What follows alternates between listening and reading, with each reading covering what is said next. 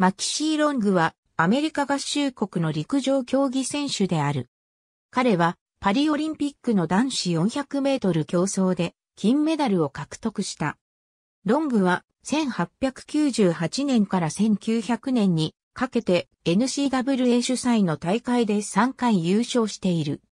1899年に IC4A で440ヤード、AAU の220ヤードに優勝し、1900年には AAU の100ヤードに勝利した。このような実績から、ロングはパリオリンピックの優勝候補の本命に挙げられた。オリンピックの400メートル決勝レースでは、ロングはスタートからフィニッシュまでレースを終始リードし、同僚のウィリアム・ホランドを2.7メートル引き離して金メダルを獲得した。その年の後半にロングはいくつか輝かしい記録を作った。9月29日に440ヤードで47秒8の記録を打ち立てた。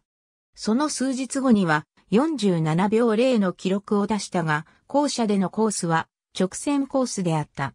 資料によってはミドルネームをウォッシュバーンとしている。402.34メートル、201.17メートル、91.44メートル。Athletics at the 1900 Paris Summer Games, Men's 400 metres、2011年4月29日、閲覧。ありがとうございます。